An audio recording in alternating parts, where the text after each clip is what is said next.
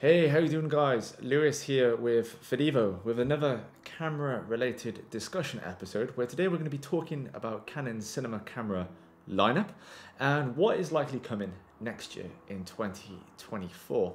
Their lineup currently consists of the C700, the C500 Mark II, the C300 Mark III, the C200, the C70, and if we want to count it, the Canon R5C, which is a hybrid mirrorless but heavily skewed with video features. Now, over the last five to 10 years, with camera innovation rocketing through the roof, we've seen annual releases from every manufacturer trying to outdo each other with bigger and better features. However, if I was to ask you what cameras came out in 2023 that blew your mind, I think we would say there hasn't been that many. In fact, maybe even in 2022. Now, some could argue that this could be down to the COVID years where there's the chip shortage, which may have halted R&D, but I quite simply think we've got to the point where camera technology is so great that there's no point releasing models each and every year when the newest feature may just be fixed with a firmware patch and instead we're going to have to wait a good couple of years to see that newest model. However, in general, Canon is quite slow with their cinema camera releases. For example, the C300 Mark II was announced back in September 2015 and the Mark III didn't come out until April 2020.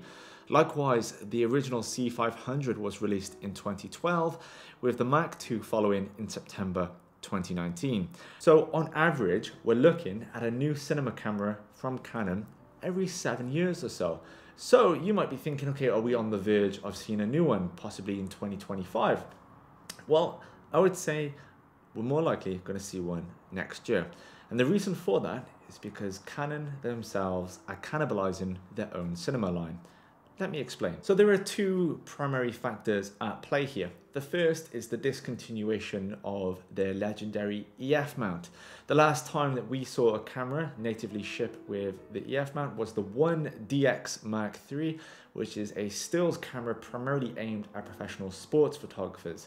On the matter, Canon's CEO said Canon's SLR flagship model is known as the EOS 1 series, the first of which appeared in 1989.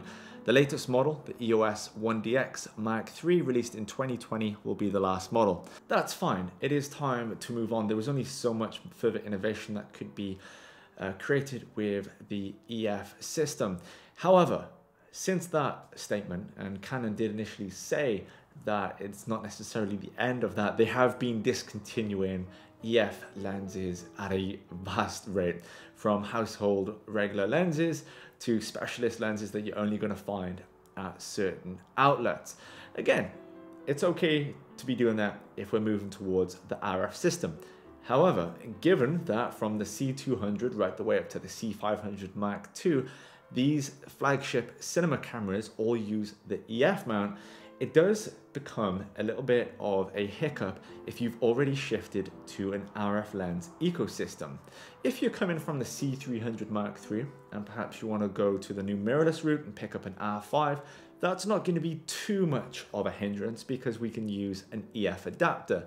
However, if you have first invested into their stills range, say an R5 or an R6, and then want to pick up a larger cinema camera for more professional needs, then you're going to be a little bit out of luck as you're going to have to invest entirely into a new lens range as we can't go from RF to EF. Now, before we talk about where Canon is heading in 2024, I don't think we can do so without discussing its current flagship model, or at least what I would consider its current flagship model, as it's more attainable than the C500 Mark II or the C700, and it boasts numerous extra features than the C200. So it's the C300 Mark III.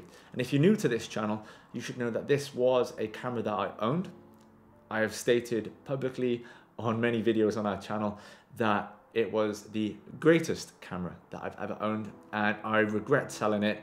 And I think about that mistake at least a few times a month. The camera always had some great quality of life features that just made it so good to use. This includes the fantastic built-in ND system as well as dual XLR ports which are great for your run and gun filmmaking operations.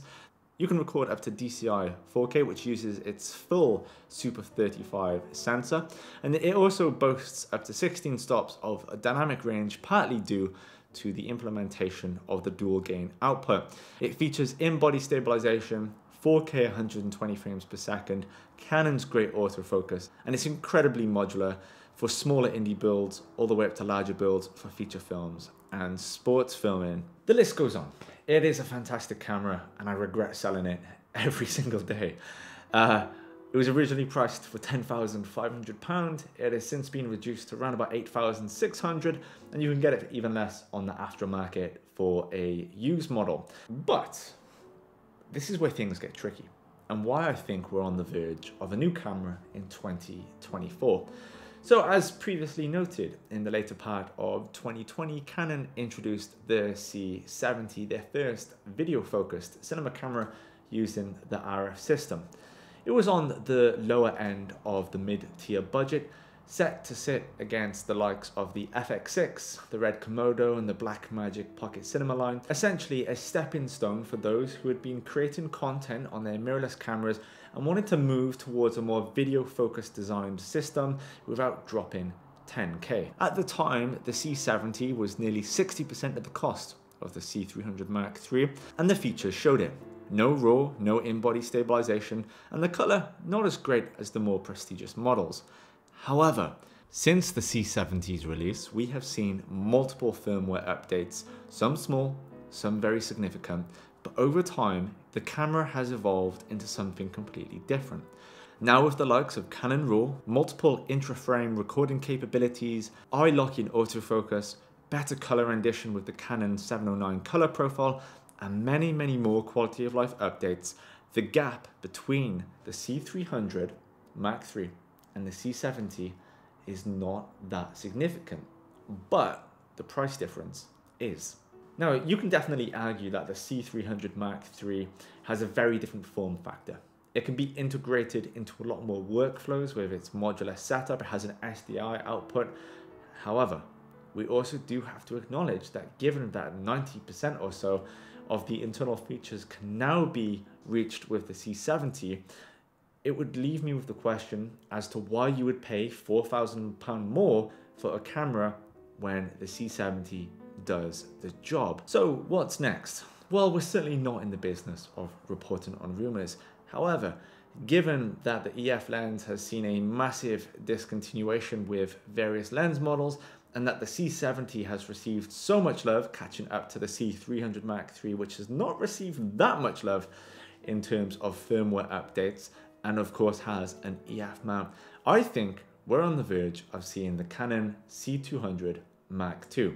Now, various outlets have reported on possible C200 Mark II features, and it's been suggested that it will have the same image sensor and connection ports as the C300 Mark III, be compatible with the C300 Mark III and C500 Mark II accessories, include timecode, an SDI terminal, and of course the elusive RF mount.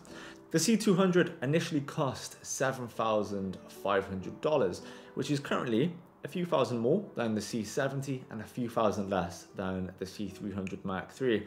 And I think this would be a good entry point for a new video build better than the C70, which comes with some of the newer technology that's arrived on the scene over the last few years. And I think Canon really do need a win with this camera, given how much of the spotlight Sony has recently claimed with the likes of the FX3 and how it was used to film the creator more or less entirely. All right, well, I've been Lewis with Videvo. If the C200 Mark II comes out next year, I want everybody who has watched this video to come back and comment you were right. And uh, if you've enjoyed this, let us know and we'll catch you guys next week with another tutorial.